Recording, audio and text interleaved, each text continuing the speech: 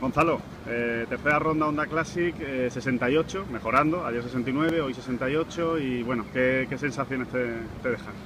La verdad es que muy buenas, ¿no? He pegado, he pegado a los hierros sensacional, eh, también he pateado muy bien, la verdad, aunque no, aunque no he metido todas las que debería, pero, pero la bola rodaba muy bien. Y bueno, exceptuando un poco los golpes del tee que me siguen, que me siguen volviendo un poco loco, el, el, resto la verdad es que es para estar muy satisfecho. Yo creo que un 68 desde los lugares que he visitado y desde el tee tiene, tiene mucho mérito. Ya he pegado, como te digo, magníficos hierros y ya pegarlos desde la calle debe ser, debe ser la verdad.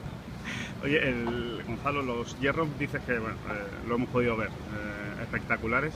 Eh, de, la, de las mejores rondas de hierros quizá este año, Sí, yo creo que junto, junto con el sábado de Riviera y, y el partido con Hunter Mejan es probablemente lo llevaba tiempo sin pegar los hierros también.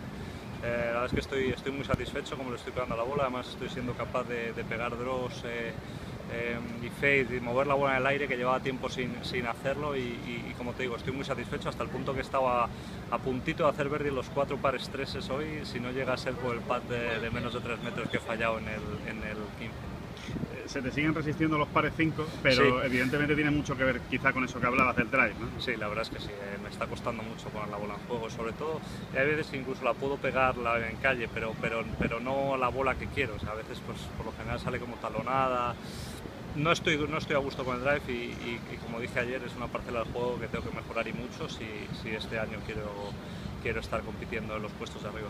Muy bien, pues muchas gracias Gonzalo y suerte mañana en el domingo. Gracias.